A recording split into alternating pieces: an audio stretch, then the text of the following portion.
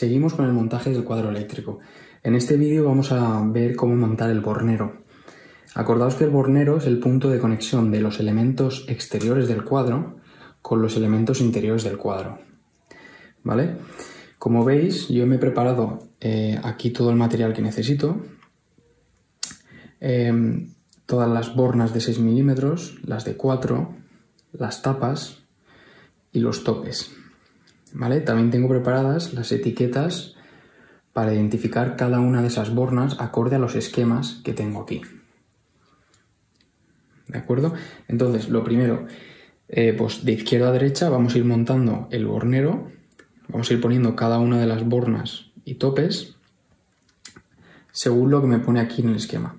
Como podéis ver, aquí tengo eh, o sea, en los esquemas tenéis el bornero dividido en tres partes, X1, X2, X3. ¿vale? La primera haría referencia a la alimentación, que es esta de aquí. La segunda sería para el conexionado de, motores.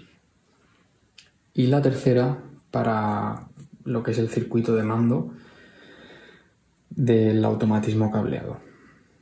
Bien, pues empezando por la de alimentación, eh, obviamente siempre eh, a los laterales vamos a poner topes. Entonces lo primero que vamos a poner es un tope. Fijaros, el tope, el tornillo que tiene es Phillips, ¿vale? PH1, con el destornillador adecuado. Fijaros en esta em, tuerca que tenéis ahí, ¿vale? Es la que va a enganchar al carril link. Entonces la aflojamos, es decir, la bajamos hasta abajo lo colocamos en su sitio y apretamos un poco, luego apretaremos del todo, ¿vale? Simplemente la presentamos. Siguiente, borna, muy fácil de conectar, bueno, de enganchar al carril DIN. Fijaos, esta que tiene una forma de U, ¿vale? Es la que va a entrar segunda, entonces primero meteré esta. Metéis esa ahí, cuando la tengáis puesta, apretáis hacia abajo hasta que veáis el clic, ¿vale? Esto lo vamos a repetir con todas.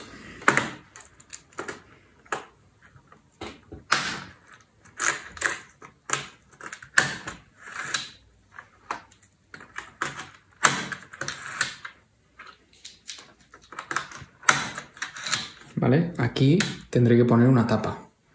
¿Por qué? Porque la, la borna de toma de tierra no cubre la totalidad de la cara de esa borna. vamos a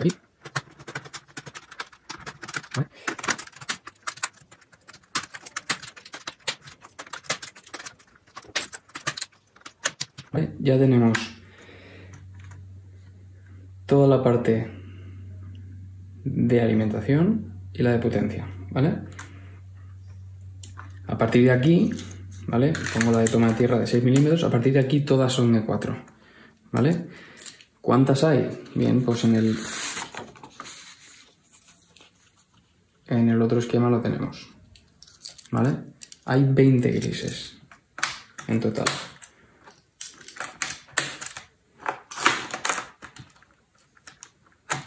Es importante cuando lo vayáis a poner, fijaros, ¿vale? Aseguraros de que entra bien esta pestaña, porque si no os va a pasar lo que me acaba de pasar a mí ahora, ¿vale? No queremos tampoco que parta ninguna pestaña. Eh, cuando apretéis hacia abajo no hay que hacer casi fuerza, ¿vale? Simplemente guiando con esta mano la borna, apretáis un poco y, y entra ya al sitio. Entonces,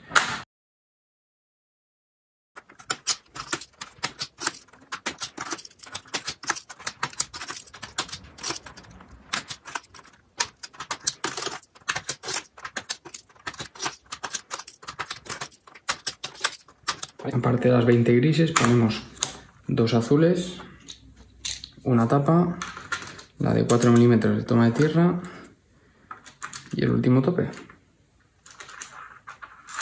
¿Vale? Una vez tenéis esto aquí, no hay nada fijo, por lo cual, con lo cual podéis mover el bornero y ponerlo más o menos en la, pues en la zona que queráis. Ya está. Ahora bien, los topes los apretamos con el destornillador Phillips, el PH1.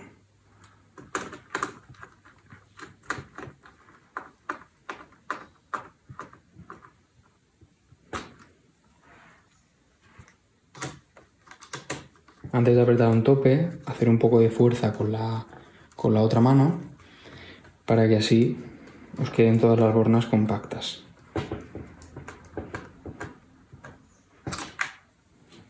Y por último, el último tope.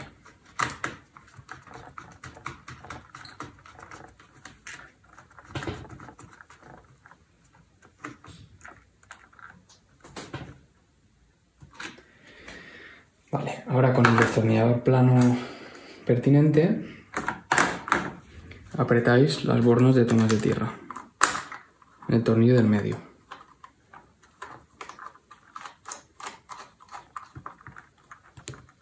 Es importante que las bornas de toma de tierra estén bien apretadas porque de ello depende que el circuito de protección sea efectivo, ¿vale? Las garras metálicas que tienen abajo tienen que tocar el carril lino.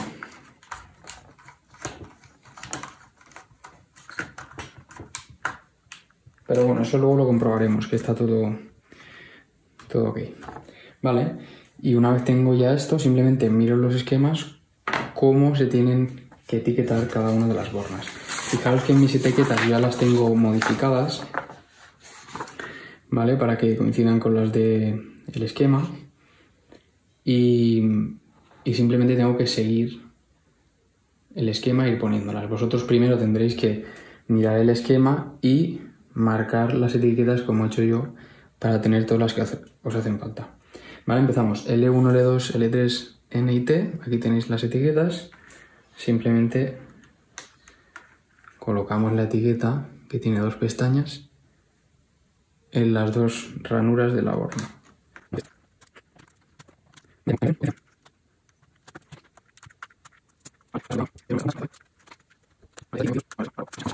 De manera que, como veis, tengo del 1 al 22 y una T de toma tierra.